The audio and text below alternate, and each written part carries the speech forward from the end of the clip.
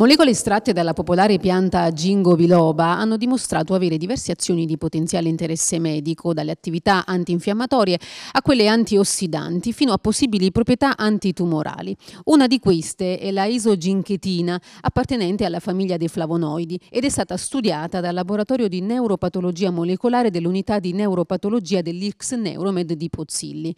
I ricercatori che hanno pubblicato i loro risultati sulla rivista scientifica Molecules hanno testato studiato la molecola su cellule di particolare tipo di tumore cerebrale, il glioblastoma, particolarmente aggressivo, nonché il più diffuso. Chirurgia, chemioterapia e radioterapia sono le armi fondamentali a disposizione della medicina. Purtroppo quelle cellule sviluppano spesso una resistenza contro i farmaci. Per questo motivo si indagano potenziali terapie da associare a quelle standard con lo scopo di aumentare l'efficacia di queste ultime.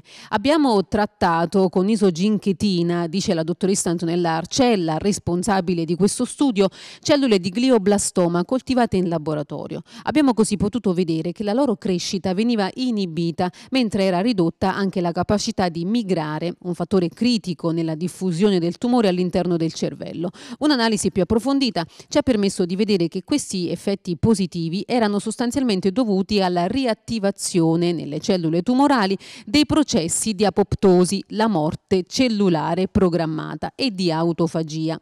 Gli standard terapeutici naturalmente restano il pilastro portante della lotta a questo tumore cerebrale. La isoginchetina potrebbe scendere al loro fianco per potenziarne l'azione. Naturalmente, dice ancora Arcella, ci vorranno ulteriori studi prima di un possibile impiego terapeutico. Il nostro prossimo passo sarà di verificare come si comportano le cellule tumorali sotto l'azione combinata della isoginchetina e della chemioterapia standard standard, in particolare il farmaco temozolomide, la principale arma contro il glioblastoma. Puntiamo ad un rafforzamento sinergico dell'azione antitumorale.